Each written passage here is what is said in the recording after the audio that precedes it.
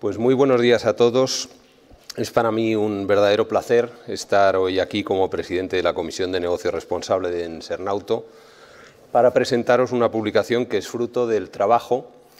que es un trabajo colaborativo, de una puesta en común, de un esfuerzo de innovación y de compartir conocimiento, que es este libro blanco que vamos a conocer a continuación. Este proceso eh, empezó cuando en la Comisión de Recambio se hablaba de su plan estratégico y a raíz de identificar ese área como un área importante, la Junta Directiva a finales del 2019 decidió que apostar por la sostenibilidad era una, apuesta segura y estratégica también para todo el conjunto de la asociación y en ese momento decidimos constituir esta comisión de negocio responsable. Desde esta comisión de negocio responsable estamos impulsando la transformación y la transición hacia una industria más sostenible en el sector de componentes de automoción. Estamos desarrollando herramientas y poniendo en marcha acciones como la de hoy que nos sirvan para poner en valor lo que hacemos y, a la vez ayudar con el ejemplo a otras empresas. Hemos creado una matriz web, como comentaba antes Cristina, con los temas más relevantes para el sector, un esquema para el reporte de la información no financiera y estamos trabajando en nuevos proyectos para seguir impulsando la sostenibilidad y el negocio responsable desde Sernauto. Aquellos asociados de Sernauto que todavía no forméis parte, sobre todo os lo digo a los que estáis escuchándonos desde casa o desde vuestras oficinas, os animo a uniros para seguir avanzando juntos en esta materia clave para el futuro de nuestras organizaciones y de la sociedad. El libro blanco que hoy os presentamos cuenta una historia, un relato, un relato de esfuerzo, de compromiso, de competitividad, de innovación y de rigurosidad que es el relato de una industria que trabaja sincronizada con los retos sociales y ambientales y que se encuentra inmersa en una transformación industrial y tecnológica sin precedentes. Nace con el ánimo de compartir con todos vosotros, empresas del sector, gobiernos, inversores, medios de comunicación y en general con la sociedad, todo aquello que estamos haciendo ya los fabricantes de componentes para contribuir al desarrollo sostenible y a la Agenda 2030 de las Naciones Unidas desde hace ya muchos años. Hemos recopilado más de 40 mejores prácticas de nuestras empresas. Este proyecto se enmarca en la estrategia de negocio responsable que la asociación puso en marcha en 2020 para impulsar y dar visibilidad al compromiso de las empresas y asociados del sector y avanzar juntos en este camino de la movilidad sostenible. Antes de entrar en detalle, permitidme dar las gracias también a las empresas de Sernauto que han participado en la elaboración de este libro por la generosidad que han demostrado al compartir con nosotros iniciativas, experiencias y conocimiento que han ayudado a darle forma. También a los profesionales del sector a los que hemos realizado entrevistas en profundidad y que han aportado mucho eh, a través de su tiempo y, de su, de su aportación.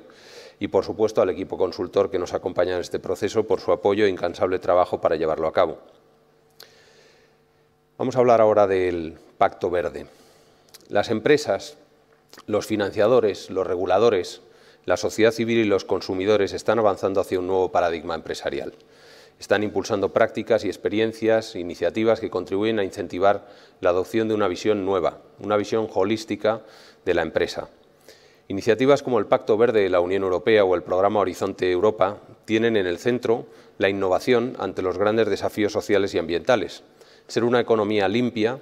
con cero emisiones, proteger el hábitat natural, mejorar el bienestar de las personas y de las empresas en todo el planeta. Los ejes principales de actuación de la Unión Europea en materia de sostenibilidad, como ya sabéis, son el objetivo de descarbonización de Europa para 2050,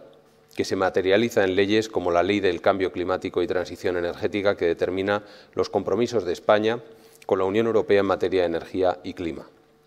También el impulso de la transparencia corporativa y el etiquetado de productos, como fomenta la Directiva de Divulgación de Información No Financiera y Diversidad, por la que las empresas deberán divulgar una mayor cantidad de datos climáticos y medioambientales, de manera que los inversores estén plenamente informados sobre las oportunidades de inversión sostenibles y puedan orientar sus inversiones de largo plazo de una manera más eficaz.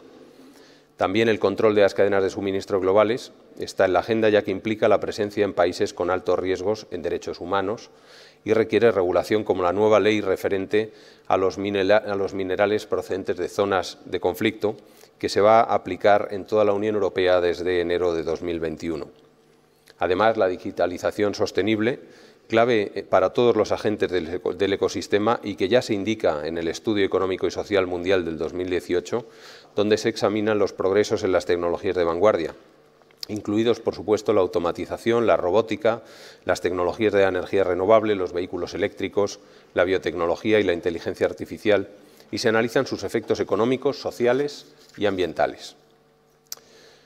La industria de automoción es estratégica, lo hemos visto y lo hemos oído en las diferentes intervenciones previas. Es un sector con un efecto tractor significativo a lo largo de toda la cadena de valor, desde la fabricación de los componentes para los vehículos y su ensamblaje hasta su comercialización y reparación, procesos con importantes sinergias con otros sectores de la economía.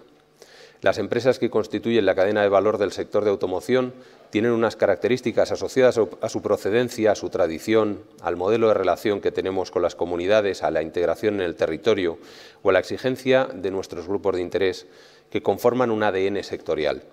Un ADN que se caracteriza por la generación de empleo de calidad, el compromiso con la excelencia, la innovación como palanca para generar competitividad, la integración en las comunidades locales, actuando como un ciudadano más, o la colaboración con distintos agentes económicos y sociales para generar y compartir conocimiento. Este ADN sectorial lleva a nuestras empresas a abordar los retos sociales, ambientales, técnicos o regulatorios con una perspectiva de innovación y con enfoques colaborativos, ejerciendo un efecto multiplicador en el impacto que generamos. Es un sector, el nuestro, el de componentes, que invierte, como ya ha dicho nuestra presidenta, 1.500 millones de euros en I de I, eso es más del 4% de nuestra facturación. Eso se refleja en una constante mejora en la competitividad. Y en concreto, la industria de componentes de automoción es uno de los sectores industriales que más invierte en I de I. Concretamente es el triple que la media de la inversión industrial española. En las últimas décadas, además, esta innovación ha estado encaminada a dar respuesta a los retos que plantea la movilidad sostenible, en relación con la mejora continua de la seguridad, la disminución de las emisiones de CO2, la mejora de la calidad del aire o la disminución del ruido en las ciudades. La procedencia de nuestras empresas, la tradición, la relación, la integración en el territorio, la exigencia de los grupos de interés, nos ha convertido ya en empresas muy centradas en la eficiencia para ser competitivas. Tenemos una capacidad de innovación muy alta que nos ha permitido dar respuesta a muchos de estos retos regulatorios y, lo que es aún más importante, crear empleo de mucha calidad. Durante los meses que hemos estado trabajando, nos dimos cuenta de que necesitábamos contar con un nuevo concepto para denominar aquello a lo que queremos enfocar todos nuestros esfuerzos. Así nació el concepto de Industria 4.0 elevada a la S de sostenible, con el que queremos hacer referencia a esa doble transición hacia una industria digital y sostenible. Esto supone que desde nuestro sector debemos avanzar hacia el liderazgo digital y hacia la neutralidad climática y poniendo en marcha mecanismos de transición justa que no dejen a nadie atrás. Con el apoyo de las nuevas tecnologías, de un software cada vez más sofisticado y de las muy necesarias mejoras de la infraestructura que van a realizarse, la industria de proveedores de automoción de mañana podría llegar a conseguir la fórmula del éxito digitalizando los procesos para hacerlos más eficientes, evitando las emisiones de CO2, eliminando la generación de residuos, incrementando la seguridad hasta llegar al cero accidentes y hacerlo, como decía, sin dejar a nadie atrás, mediante mecanismos de transición inclusivos. Esta, sin duda, es una apuesta muy ambiciosa, pero con la que estamos plenamente comprometidos y que muchas de nuestras empresas ya están implementando, como podréis observar en el libro blanco. Y, en concreto, Vamos a hablar un poquito más en detalle de este libro blanco que, tiene algunas conclusiones, como por ejemplo una muy obvia, pero es poner en valor el sector de componentes de automoción como una pieza clave en la cadena del sector de automoción en España y en el mundo, aportando el 75% del valor del vehículo. Es un sector con una fuerte relevancia económica y social. En nuestro país y desde luego tiene un efecto vertebrador en el territorio español, generando 365.000 puestos de trabajo directos e indirectos, como ya se nos ha comentado esta mañana. Es una industria que desde hace más de seis décadas trabaja en estrecha relación y colaboración con los fabricantes en su cadena de valor, siendo en muchos casos socio estratégico de los OEMs, la competitividad, flexibilidad y capacidad de adaptación de nuestro sector han sido claves para trabajar exitosamente con clientes en todo el mundo, no solo en España. Y esa industria de automoción se enfrenta a desafíos y oportunidades en toda su cadena de valor, cambios que son regulatorios, la descarbonización, los nuevos proveedores y la interconectividad, la industria 4.0, los nuevos modelos de negocio derivados del vehículo conectado y automatizado, la máxima eficiencia, los canales de venta, la relación con un nuevo consumidor consciente, todos ellos los estamos abordando desde la solidez de empresas que llevan décadas respondiendo a retos sociales y ambientales con estrategias de innovación. La mejor demostración es la capacidad de este sector de responder a los retos con responsabilidad e innovación. En concreto, la respuesta que las empresas del sector de automoción hemos dado a la crisis sanitaria provocada por la pandemia del COVID-19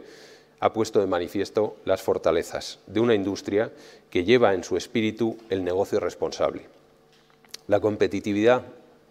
y la presión regulatoria del sector de automoción han sido siempre motores de innovación y de eficiencia que nos han transformado y que han permitido un impacto positivo a lo largo de nuestra existencia. Actualmente forman parte de nuestra esencia como industria.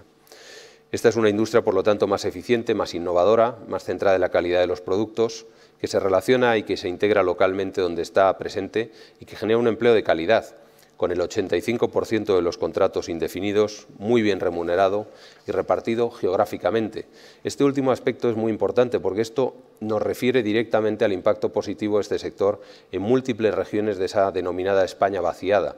Eso hace que contribuyamos de una manera muy clara a la cohesión social y a la cohesión territorial. Para que la industria de componentes pueda seguir abordando estos retos de la movilidad sostenible es necesario, por supuesto, que se activen una serie de palancas y en el libro blanco se detallan. En concreto, avanzar en una regulación inteligente, integrada, cohesionada, con una perspectiva eh, absolutamente holística que proporcione seguridad jurídica y un marco atractivo a fabricantes, proveedores y usuarios. También es preciso intensificar la innovación y el desarrollo hacia el nuevo modelo productivo de I+D con más instrumentos de inversión, más colaboración entre proveedores, desarrollo del nuevo I+D+I y siendo más globales e integradores con programas de financiación para el impulso del sector automoción, como los programas de recuperación de la Unión Europea, que nos mencionaban también anteriormente, que van a desempeñar un papel fundamental en el aprovechamiento de las inversiones nacionales públicas y privadas. Hay que acceder a financiación sostenible, hay que ser elegible para esa financiación sostenible porque este sector sea transparente en la gestión de riesgos y las oportunidades que presenta la gestión ESG. Y además hay que aprovechar el impulso que los OEMs y los Tier 1 podemos tener con nuestro efecto tractor y en muchos casos incluso con el efecto sede que muchos podemos tener para ayudar a movilizar esa eficiencia y esa innovación sostenible en toda la cadena de valor, aguas abajo, especialmente hacia las pymes. Y por último hay que establecer un posicionamiento sectorial estratégico ante los retos de la Agenda, de la agenda 2030. Concluyendo, las empresas de componentes tienen un papel fundamental en el futuro de la movilidad sostenible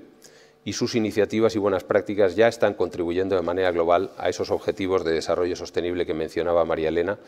y hacen posible no solo una movilidad más segura, más limpia y más inteligente, sino sobre todo una movilidad más humana, más comprometida con la cadena de valor y más transparente hacia nuestros grupos de interés.